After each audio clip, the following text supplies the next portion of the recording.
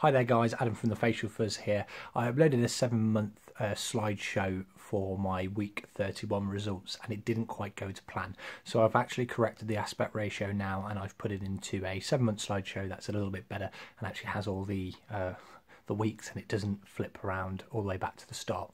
Uh, so stay tuned and here's my seven months of progress.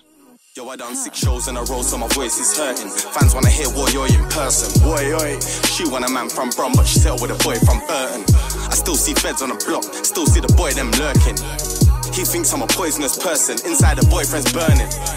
There's too many keyboard warriors, behind the screen you're anonymous. And there's far too many MCs in the game that just want fame, they spent P's on followers. Brother's crazy, guns ain't wavy. I've got a gift, that's what God gave me. What, you don't rate me, cause I ain't got a blue tick, but I got one on the top that gave me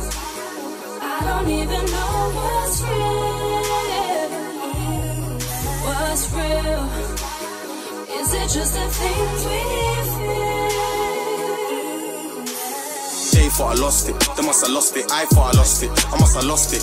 Do it till I'm killed and my blood drips. They got my bro in a cage like a hostage. So if I get hold of the system, I'm choking the victims. I'm literally savage. I'm splitting the racket like ocean wisdom, splitting the racket.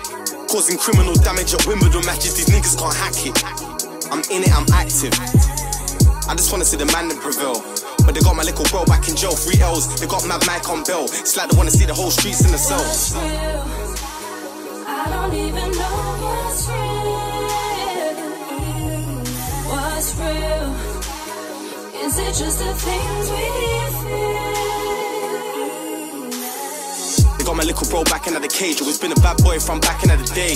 And now the feds trying to carry him away, trying to take him to a place where the man I wanna stay. I'm in the hood, but I'm planning to escape, stacking up my cage.